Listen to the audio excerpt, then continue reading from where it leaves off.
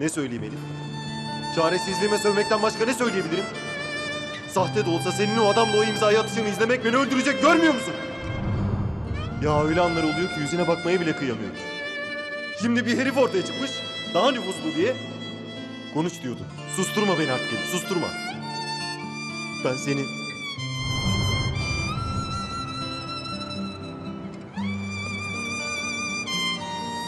Elif, iyi misin? Hadi geçelim.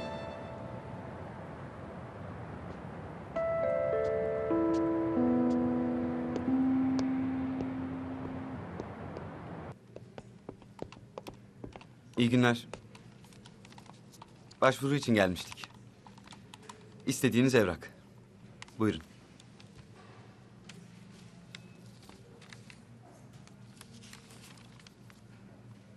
Hangi aya istiyorsunuz? Mümkün olan en kısa zamanı.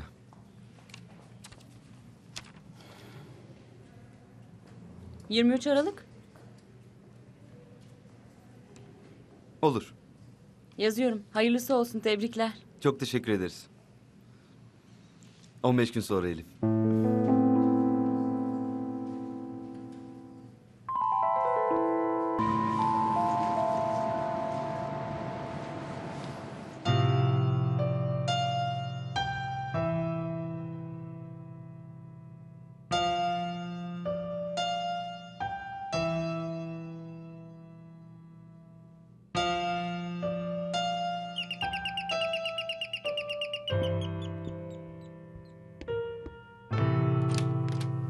İyi akşamlar. İyi akşamlar. Teyzem bir şeyler gönderdi. Teşekkür ederim. Gelsene Ali.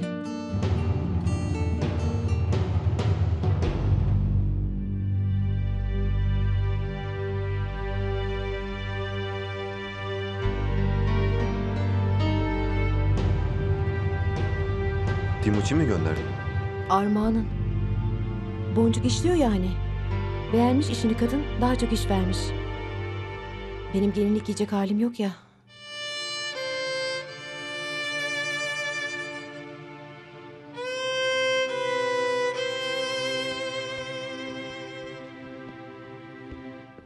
Ali? Girsene niye kapıdasın? Yok teyzem bir şeyler gönderdi de onu getirdim ben. Teşekkürler. Ben kaçayım. Teşekkür ederiz. Görüşürüz. Görüşürüz.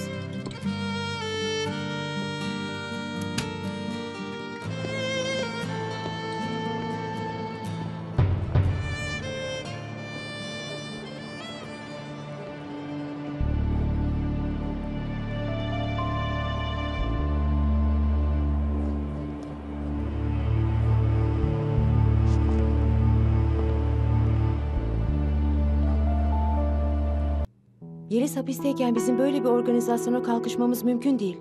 Ayrıca ben ne gelinlik istiyorum ne teferruat. Ya evlilik cüzdanı nelerine yetmiyormuş? Düşününce mantıklı aslında. Halanız da malum. Avukatı bu evliliğin sahte olduğunu mutlaka iddia edecek. Elimizde fotoğraflar, video kayıtları olunca onları susturması daha kolay.